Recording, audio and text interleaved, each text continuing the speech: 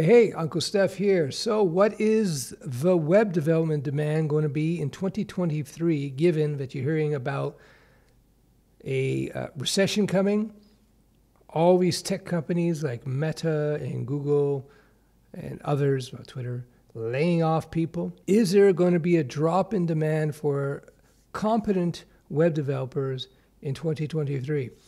My experience going back to 1994 as a professional developer will inform us of what's going to probably going to happen in 2023. You know, that's a long time. 400 years of experience. Okay, let's jump into it. To get to the point, I don't think it's going to have much of an impact in terms of demand if you set yourself up properly as a developer, and especially if you have just a little bit of experience, you should be fine. Yes, some people will get laid off, but they'll be able to find jobs pretty quickly. It will be like a reshuffling of a developer deck so don't worry about it if you have some skill. So I'm pretty confident of this prediction, again, because I've been doing this stuff since 94. So I've seen this boom and bust cycle in the development game.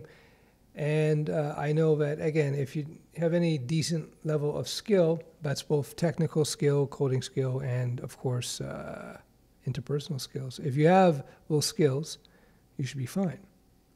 Already, as anecdotes, I spoke to three people just in the last 24 hours who, number one, somebody from my mentoring group, they, uh, with no college degree, no prior background in coding, were able to land just recently their first job as a developer. Pretty good salary. They increased their own salary from their previous job by quite a bit.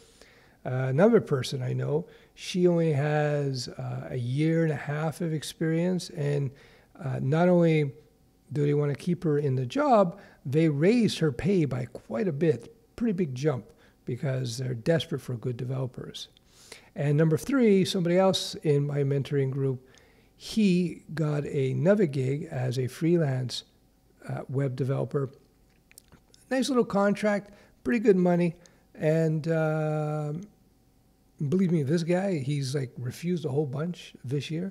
So there's plenty of opportunity if you know what you're doing and you present yourself well, you'll be fine. So I wouldn't worry too much about it. Again, yes, some people will get laid off, but they'll quickly find jobs in other companies. Uh, yeah, they'll quickly find jobs in other companies if they're confident. Now, if you look at Twitter, for example, you hear about all these huge number of layoffs. The vast majority, as far as I understand, were not developers. They were the hallway monitors, middle management, that kind of that kind of stuff. This is typical, by the way. In uh, any recessions, it's the middle management whoosh, that gets thrown out, the dead wood. Uh, it's typical, and I've spoken about this in another video recently. It's typical in layoffs, companies are forced to uh, streamline.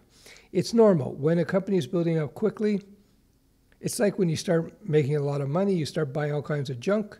And next thing you know, you got all kinds of junk, junk in your closets, and you got uh, multiple cars and multiple houses, and you're like, "What am I doing with all this junk?" And at some point, you you'll do that, and then you go, "Okay, I'm going to get rid of this. I'm going to get rid of that. I'm going to clean that, clean this, clean that." So that's normal. So the key to 2023 as a web developer is to not be junk, to not be the clutter, be the dependable, the agreeable, and the competent developer, and you'll be fine. My name is Stef. If you want to be mentored by somebody who's been coding since 1994, check out the link below, unclestef.com. I'll get you up and running pretty damn quick.